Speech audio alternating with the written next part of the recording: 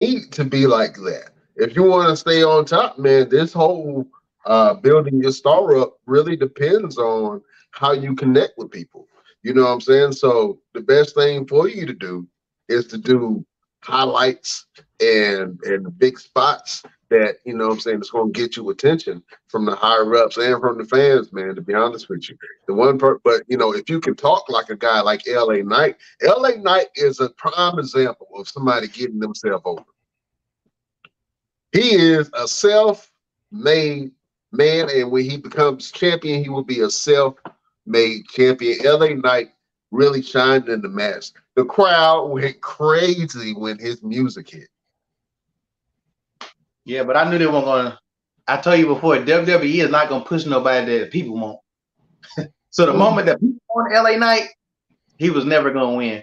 Um, I don't know if he's gonna get a belt, but LA Knight is like 40. So they can't be waiting. They can't talk about it ain't his time yet. He ain't got that much time. like, go ahead, this man 40. So uh if he gonna do it, give him give him some kind of belt. He ain't even got to have the main belt. He can get the take that belt off Austin Theory. Like get, give him another belt. Give him any belt. He can. He's gonna bring attention to that belt because Austin Theory ain't done jack. He didn't even have a match in the pay per view. yeah, he did not. Actually, uh, to be honest with you, Austin Theory has had some pretty, pretty good matches. But the thing is, nobody cares. Nobody cares about it. And John Cena was right, man. Like you got to make people care. Nobody cares about him, man. Um, and I hate to say it, as good as he is, he like I keep saying, he needs to join some type of a faction, or he needs to be in some type of team. Um, he has pretty deadly helping him out. I'm not sure how much help that's going to be. and that, a- that, don't even it don't make sense. It don't make sense to me. The, the pairing, you know what I mean? Uh, but we'll see. Chef, let's talk about it, man. What were some of your favorite moments from the men's Money in the Bank match? The entrances. Oh man, whose interest in particular? None of them. I like Ricochet. nah, but I say the one of the best parts I liked about the Money in the Bank match was um when Ricochet did that 450 splash. One on, on both of the who was on it? It was Logan, I can't remember who was on the ladder. Logan Paul, somebody else was stacked on top of each other. Oh yeah, yeah. Oh yeah, that was a big that was a big moment. Uh, I remember that. Rick, you can always count on Ricochet to kind of, you know, do some some crazy moments too. He's he's a highlight king too. But you know, I'm thinking about it. You know, L- L.A. Knight had to qualify against uh, Montez Ford in order to be in Money.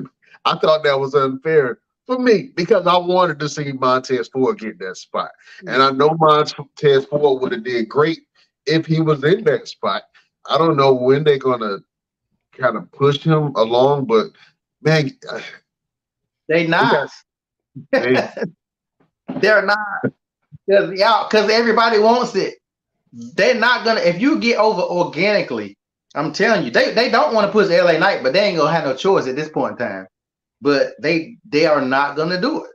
Even even Triple H is like, uh, uh, uh, uh, shut up. Y'all know damn well y'all won't buy the the fan. Look at the last couple times they could have gave the fans what they wanted. Drew McIntyre could have beat Roman. Place would have exploded. Uh, Cody could have beat Roman. The place would have exploded. Uh, they could have gave Zelina Vega that belt even for a little bit. Place would have exploded. Like, what, what? What's the last thing that WWE has done that the fans really wanted? I bet you probably can't think of that. Um, Logan Paul. The fans ain't want no Logan Paul. None of the fans wanted Logan Paul. No. You know what I'm saying? He no. got just bullied his way into into. I did, and LP. We talked about it when he first came in. He was like, he ain't gonna stay around long. Well, sir, it's been almost two years. I mean, he really, if you really want to be technical, he ain't staying. He just jumping in and out. That's not staying. I said he was not going to be a regular member on the roster, and he still is not. He got coming up with Ricochet for SummerSlam, and he'll be gone. He popped up. He ain't been around since the last time he wrestled. He popped up or a week before Money in the Bank and got in the match. So you know he is not considered on the he is not on the roster. No. oh man. I thought that it was a, a really good showing. Um, everybody had their moments, and of course, Damian Priest ended up pulling off the win and becoming Señor money in the bank. I like Damian Priest having the money in the bank. I'm not mad at it. I don't disagree with it at all. Um, because you have to admit that Damian Priest has been consistent. And he's been at the top of the card or from the middle to the top of the card consistently uh, for a while, man. So Damian Priest winning money in the bank, I think that's a real threat to everybody, but it looks like he's going to pretty much try to cash it in on Seth freaking Rollins at the right time. If I'm Damian Priest, I'm cashing it in on um, on Seth Rollins. It would make sense, and it would make his career if he cashed it in on uh, Roman Reigns. To be honest with you, because he's a real threat, and he has the Judgment Day. He has backup. Roman right now is a wounded lion. you know what I'm saying? His pride left him. You know what I mean? And he just kind of, you know, licking his wound. He's an old soldier now out here in these streets. He, should, show up, he should show up on Friday because I feel like if you got the money in the bank, you should be able to float. You shouldn't because again, he's staying on Raw. You know he's gonna do it on Seth. Like in order for them to make people think something different, he needs to show up on SmackDown uh, Friday, mess with Roman a little bit.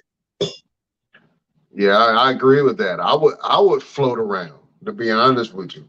And if I'm Judgment Day, it would make the perfect segment of of them really just looming around the bloodline